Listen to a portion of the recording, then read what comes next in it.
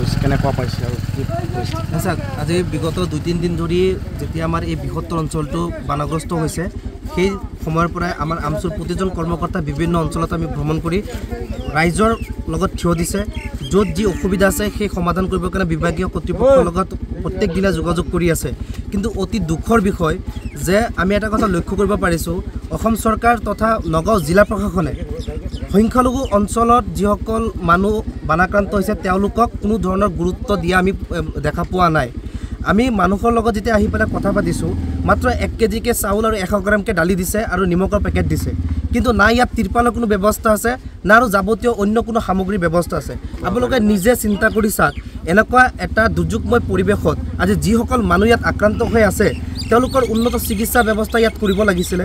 চৰকাৰে প্ৰত্যেক দিনাখন তেওঁলোকৰ ডিপাৰ্টমেণ্টৰ পৰা মানুহ পঠাই পেলাই যিসকল মানুহ ক্ষতিগ্ৰস্ত হৈছে এটা জৰীপ কৰি পেলাই সেই মানুহখিনিক সকাহ দিবৰ কাৰণে চৰকাৰে চেষ্টা কৰিব লাগিছিলে।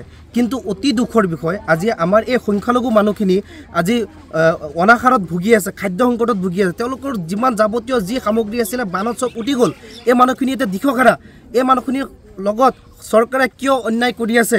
আমি আমচু কলিয়াবৰ জিলা সমিতিৰ ফালৰ পৰা নগাঁও জিলা প্ৰশাসনক আমি দাবী জনাইছোঁ। অতি শীঘ্ৰে আমাৰ বৰঘুলি বগামুখ বুৰবান্দা এই অঞ্চলসমূহত যথা পৰিমাণে খাদ্য সামগ্ৰী যোগান দিব লাগে লগতে ত্ৰিপালৰ ব্যৱস্থা কৰিব লাগে পশু খাদ্য ব্যৱস্থা কৰিব লাগে সৰু সৰু কেঁচুৱা বাচ্চাসকলৰ খাদ্যৰ ব্যৱস্থা কৰিব লাগে আৰু চিকিৎসাৰ আহ, এটা ব্যৱস্থা চৰকাৰে কৰিব লাগে।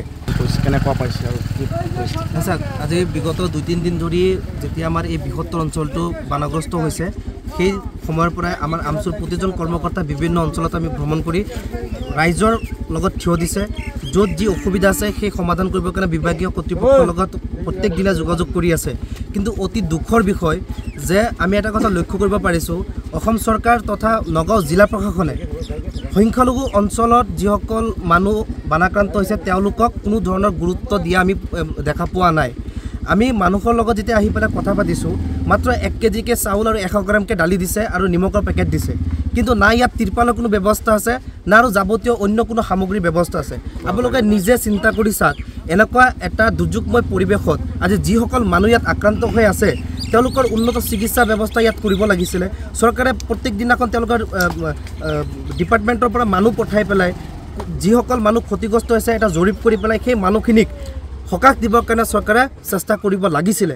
কিন্তু অতি দুখৰ বিষয় আজি আমাৰ এই সংখ্যালঘু মানুহখিনি আজি অনাহাৰত ভুগি আছে খাদ্য সংকটত ভুগি আছে। তেওঁলোকৰ যিমান যাৱতীয় যি সামগ্ৰী আছিলে বানত চব উটি গ'ল। এই মানুহখিনি এতিয়া দিশহাৰা এই মানুহখিনিৰ লগত চৰকাৰে কিয় অন্যায় কৰি আছে? আমি আমচু কলিয়াবৰ জিলা সমিতিৰ ফালৰ পৰা নগাঁও জিলা প্ৰশাসনক আমি দাবী জনাইছোঁ।